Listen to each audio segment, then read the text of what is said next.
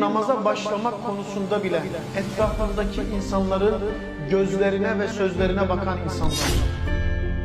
Bir tesettüre girmek istediğinde acaba tesettüre girdiğimde evde kalır mıyım endişesi içinde olan kardeşlerim.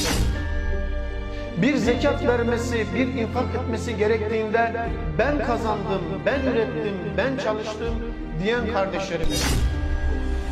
Nasıl olacak da Ebu Hubeyde İbni Cerrah ile aynı cennete talip olacağız?